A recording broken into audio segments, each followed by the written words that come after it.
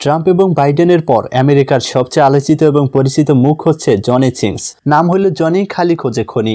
আজকের এই ভিডিওটি আঠারো প্লাস ভাই ব্রাজারের জন্য। যারা আঠারো প্লাসের নিচে রয়েছে, তারা এই ভিডিওটি দেখো না। কারণ আজকের এই ভিডিওতে পৃথিবীর সব থেকে লুচ্চা খিলাড়ি জনি সিংসকে নিয়ে কথা বলব। আজকের এই ভিডিওতে জানাব এই জনি সিংস তার ঘরোয়া খেলার মাধ্যমে কত টাকা ইনকাম করেন প্রতি মাসে এবং তিনি একটি মেয়ের সাথে যুদ্ধ করে এত মিনিট কীভাবে টিকে থাকেন সম্পূর্ণ বিস্তারিত এই ভিডিওতে তুলে ধরবো। বন্ধুরা, ভিডিওতে একটু মজা হবে, আবার শিক্ষণীয় কিছু বিষয় থাকবে তাই মাইন্ড না করে ভিডিওটি সম্পূর্ণ দেখতে থাকুন। আশা করি ভিডিওটি ভালো লাগবে।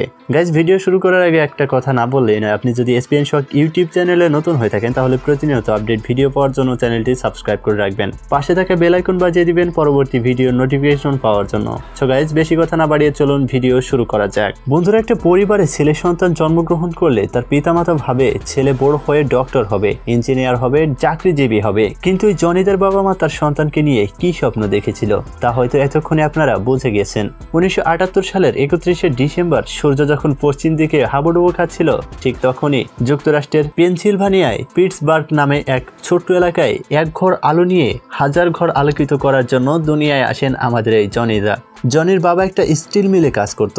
দুই ভাই বোনের মধ্যে জনি সিংস বড়। ছোটবেলা থেকেই জনি নিজের বডি বানানোর জন্য বিভিন্ন জায়গায় শরীর চর্চা করত। এরপর উনিশ বছর বয়সে জিমে ভর্তি হয়ে একখান ঝাক্কাস বডি বানান এই আমাদের জনিতা। ছোটবেলায় বন্ধুদের মধ্যে সবচেয়ে লাজুক ছিলেন জনিতা। মেয়েদের চোখের দিকে তাকাতেই পারতেন না তিনি। লজ্জা বোধ করতেন মেয়েদের চোখের দিকে তাকাতে। একই সাথে জনি সিং ছিলেন সুশিক্ষিত এবং স্মার্ট। গ্রাজুয়েশন শেষ হওয়ার পর জনি সিংস নিজের চেয়ে বয়সী এক নারীকে তার পছন্দ হয়। নিজের চেয়ে বড় হওয়ার কারণে সেই মেয়েকে বলতে পারেননি যে আমার তোমাকে পছন্দ হয়েছে। তো যাই হোক বন্ধুরা, পরে তিনি একটা কনস্ট্রাকশন ফার্মে চাকরি করেন। এ সময় তিনি দশ ঘণ্টার ডিউটি সেরে বাসায় এসে বোরিং টাইম কাটানোর জন্য পর্ন ভিডিও দেখতেন। কিন্তু আজ পর্যন্ত এমন কোনো ব্যক্তি নেই যে পানো ভিডিও দেখে একবার টয়লেটে না গিয়েছে। তো জনি দাও সেই একই কাজ করত। পানো দেখে নিজেকে কন্ট্রোল না করতে পেরে টয়লেটে কোচিং করতে যেতেন আমাদের এই জনিদা বন্ধুরা, তখন আমেরিকাতে ওপেনিং পর্ন সিনেমা চলতো। তাই তিনি তার জব ছেড়ে পর্নোগ্রাফিতে অ্যাপ্লাই করেন। বন্ধুরা, বাংলাদেশের মতো পর্নোগ্রাফিতে জব নেওয়ার জন্য ইন্টারভিউ দিতে হয়। ভাই ওয়েট আমাদের দেশের মতো ইন্টারভিউ না। ডাইরেক্ট বেডে যুদ্ধ। ভালো পারফরমেন্স দিতে পারলেই সেই চান্স পেয়ে যায়।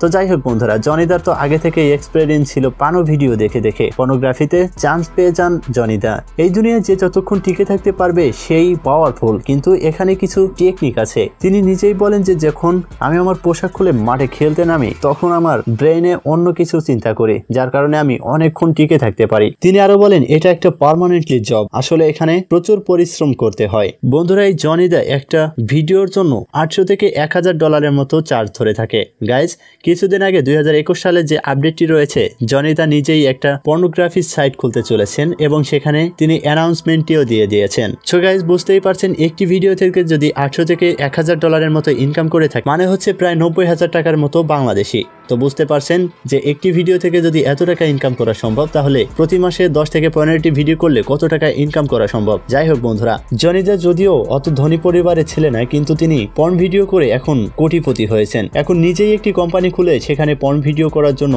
বিভিন্ন জায়গা থেকে মানুষকে ইনভাইট করছেন। আশা করি বন্ধুরা, সম্পূর্ণ বিস্তারিত আপনাদের মাঝে তুলে ধরতে পেরেছি। ভিডিওটি কেমন লেগেছে অবশ্যই কমেন্ট বক্সে কমেন্ট করে জানিয়ে দিবেন। আর আপনি জনিদাকে চেনেন কিনা অবশ্যই কমেন্ট বক্সে কমেন্ট করে জানিয়ে দিবেন এবং তার শুটিং আপনারা দেখেছেন কিনা, তাও জানাতে কিন্তু বলবেন না। আজকের ভিডিও এই পর্যন্তই। দেখা হচ্ছে পরবর্তী কোনো ভিডিওতে। ততক্ষণ আর ভালো থাকুন, সুস্থ থাকুন। Bye bye.